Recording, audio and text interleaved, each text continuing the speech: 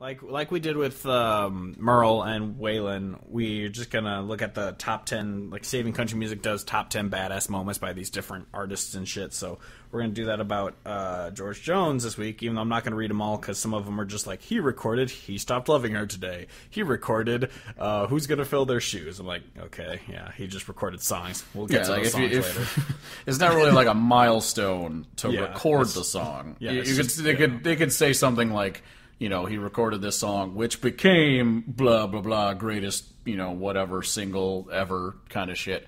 But just recording it, that's kind of a funny thing. It's just like, Yeah. he was alive on this day. But what is a great moment in George Jones' history is he rode a lawnmower to the liquor store. which Oh, my is a- God. which is a very well known story. Um, I'll just read it verbatim from this. Uh, what this is probably the most notorious George Jones story, but what a lot of folks don't know is that George Jones chose this slow moving mode of transportation to procure alcohol more than once. The first and most well documented lawnmower incident was in the late 60s. George Jones was living eight miles outside of Beaumont, Texas, when uh, with his then wife Shirley Ann Corley. Jones had experienced a few number one hits by the time, and this success fueled his wayward ways with alcohol. He was drinking so bad his wife Shirley resorted to hiding all the keys to the vehicles before she would leave the house so George wouldn't drive to the nearest liquor store in Beaumont. But that didn't stop him. After tearing the house apart looking for a set of keys one time, he looked out the window to see a riding lawnmower sitting on the property under the glow of a security light. There, gleaming in the glow, was that 10 horsepower rotary engine under a seat, a glistening, uh, a key glistening in the ignition. George recalled in his autobiography. I remember the top speed for that mower was five miles per hour. It might have taken an hour and a half or more for me to get to the liquor store, but there, but get there I did. The second lesser known incident of George Jones' escapades on a riding, riding lawnmower happened when he was married to Tammy Wynette. Taking a cue from the George, from George's previous wife Shirley, Tammy hid all the keys from George, but George had been down that road before. Wynette woke up one night at 1 a.m. to find George missing. I got into the car, drove to the nearest bar 10 miles away. Tammy recounted in 1979. When I pulled into the parking lot, there sat our rider mower next to the entrance. He'd driven that mower down a main highway. He looked up and saw me and said, "Well, fellas, here she is now, my little wife. I told you she'd come after me." The George Jones lawnmower incidents later went on to be memorialized as many country videos, including Hank Jr.'s All My Rowdy Friends Are Coming Over Tonight, Vince Gill's 93 hit One More Last Chance, that includes the line, She might have took my car and keys, but she forgot about my old John Deere, and John Rich's Country Don't Come to Town, and George's own Honky Tonk song. Oh yeah, that, and I'll always think of the just the retelling of it in Tales from the Tour Bus because they talked about the the one where he, you know, one of the times when he goes to the liquor store and he's driving down the road and he didn't turn the mower deck off, so he's just Yeah. launching the rocks on the side of the road all over the fucking place, and he just didn't give a single fuck about it. It's Uh, I- incredible. I wish I had watched the uh, Tales from the Tour Bus before we did this episode, because the George Jones episode is, is Yeah, so well, because I was going to say I don't know if it's on your list of things, but the other another item that he did that is just I don't it- don't know if it's necessarily badass, but he was tied to the tree by Waylon Jennings. Yeah. We've talked about that a few times on this Yes. podcast, and it's it's it's such a funny thing, just because of the line where it's just like, "I'm the biggest name in country music," and he replies, "Yeah, well now you're tied to a fucking tree." I'm tied to a fucking tree. It's like yes, incredible. Which is also, I, I think about the the lawnmower thing, which is obviously hilarious, but it also goes to show like legitimately how much of an actual alcoholic he was. Where he's like, it's going to Oh, yeah. take me an hour or more to drive this thing to the liquor store and like an mm-hmm. hour back, and he's like, yeah, no, I'll do it. I'll, I, I need it. And it's just like Jesus Christ, man. Yeah. So for those of you who don't know, if you're listening because you like the list newer music we talk to or whatever or talk about, uh, George Jones. Was, I talk to music. was George Jones was literally known as no show because he would get drunk and not go to his his own concerts. like Yeah, that's a thing just about get George liquored up. Yeah. Um, another badass moment was he walked out of the 1999 CMA Awards. So he said, ahead of the 99 CMA Awards, George, George Jones was enjoying yet another resurgence in his career. Jor- Jones was slated to perform the song Choices on the CMAs, but when producers insist he must sing an abbreviated version, he walked out of the ceremonies and boycotted the show. In a super act of class and solidarity, Alan Jackson, halfway through his performance of Pop a Top, stopped down, uh, stopped down and shifted gears to perform Choices in protest. The event uh, has gone on to be considered one of the biggest moments in country protest of the of the history of the genre.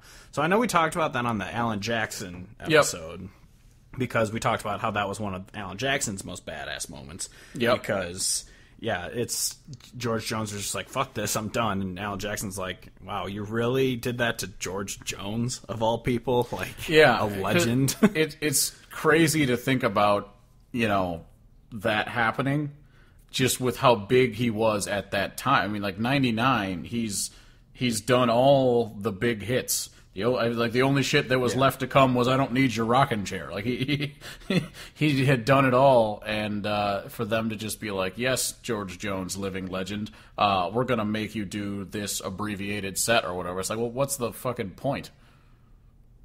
yeah. It's nonsense. Yeah. Um. Sorry, I was reading another thing just to make sure it's worth talking about. Uh, You wouldn't dare on the list. read. It's overcoming his personal demons. I thought this isn't really a badass moment. I just think it's kind of cool what he wrote. Is uh. Some people assume that becoming a rich celebrity solves many of your problems, when uh, for many artists it exposes and fuels their problems. Such was the case with George Jones, who had major issues with alcohol and later in his career drugs. At one point in 1979, despite being one of the best selling artists in the history of country music, he was bankrupt and destitute, living in his car, weighing around 100 pounds, and living off junk food.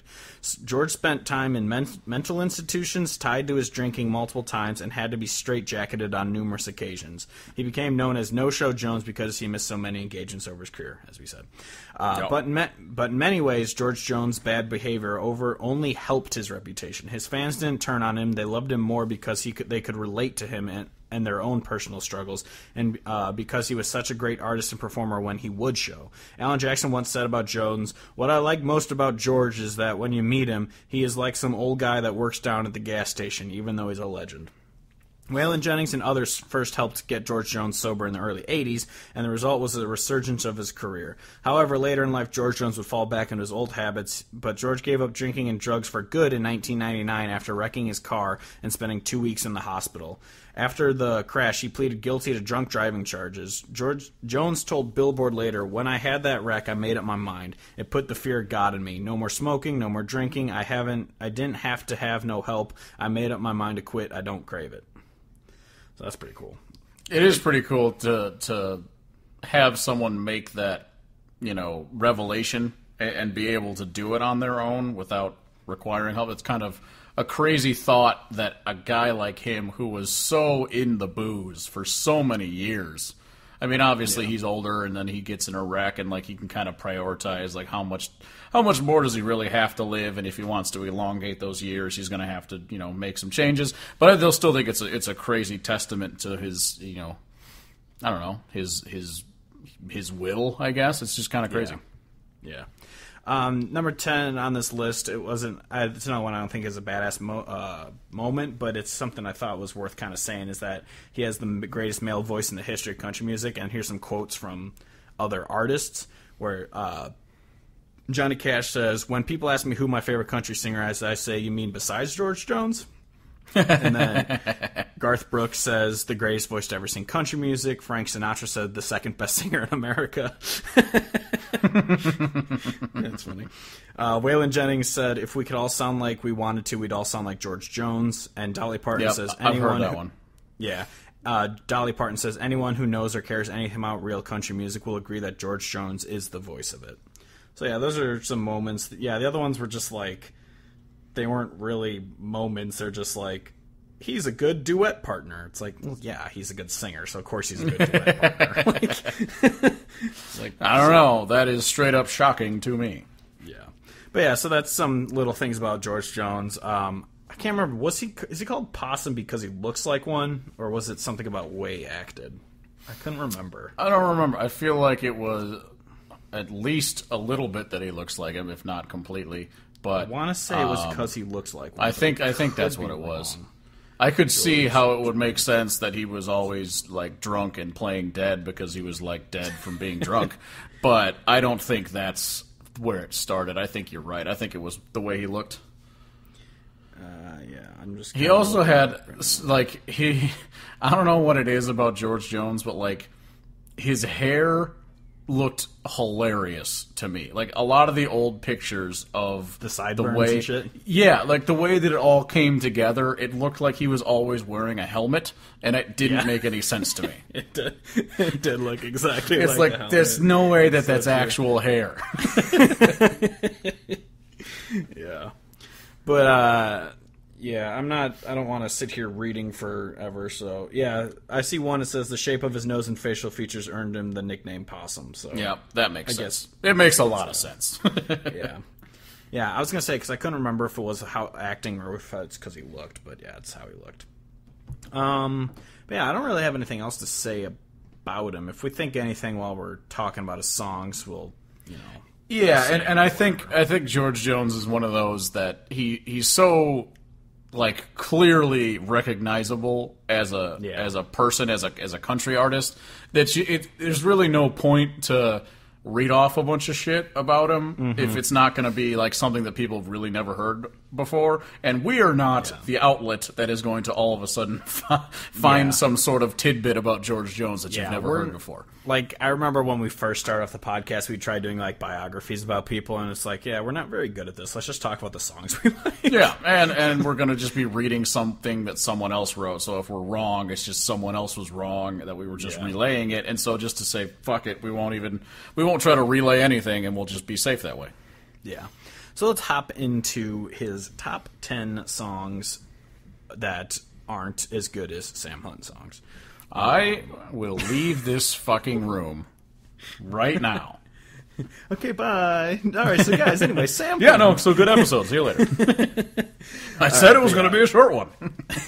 Yeah, literally 13 minutes long. Um, yeah. Oh, speaking of which, maybe I was thinking about how our other pod, if we do it, would be shorter, but we'll talk more about that in the future. Um, Future. future.